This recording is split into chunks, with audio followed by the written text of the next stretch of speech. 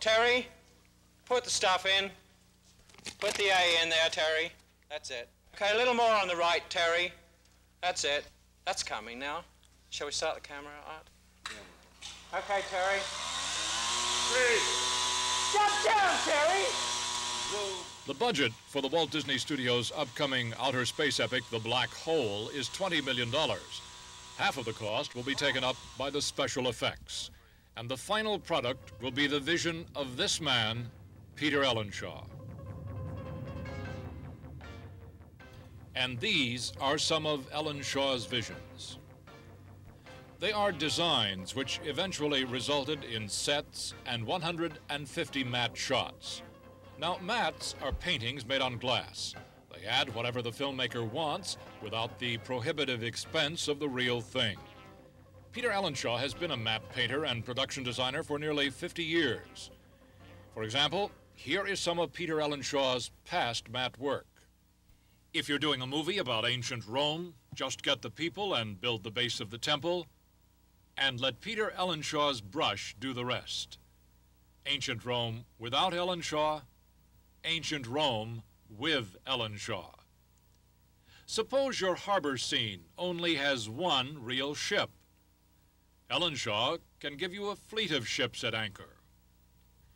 When America was being settled, new cities were founded along many of the heavily traveled rivers.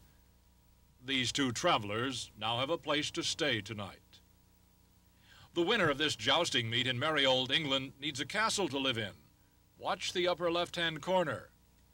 Presto, a castle fitting any knight. And when the knight has visitors arriving, it's much more picturesque with a stone bridge and a castle to get to.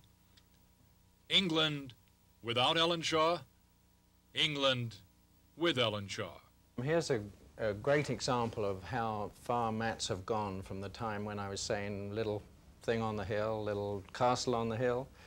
This thing here, this tremendous matte, is a prime example of how we can now use mattes with computerized movements that give us a tremendous scope. This scene starts inside an elevator.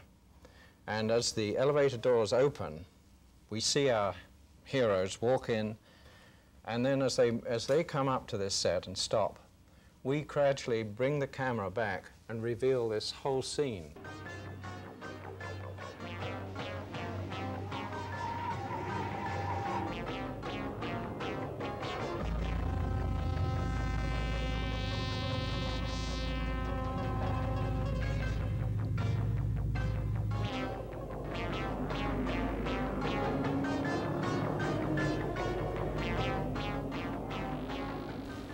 Can you break down the cost to say what this piece of glass, what the cost was to create this versus a set?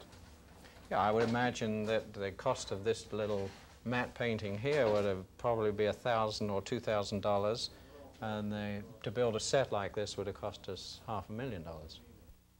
Peter Ellenshaw's long association with Walt Disney was an especially satisfying one, culminating in an Oscar for Mary Poppins in 1964. But this is where Ellenshaw is happiest, at his easel, at home.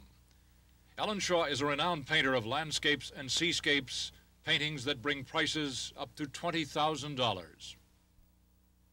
I put everything I have from my past experience into a painting until it's way I think it is done the best I can possibly do. I won't let it go. The question of the price of the picture is the gallery's problem.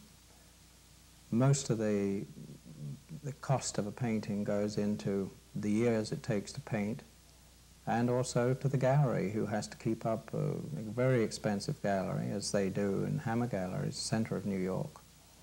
And therefore I feel we both have to charge enough to make it worth the trouble of even selling paintings. Ellenshaw left the Disney studios once to pursue his own paintings. He was lured back by the enormous challenge of the black hole. But this is it, he says.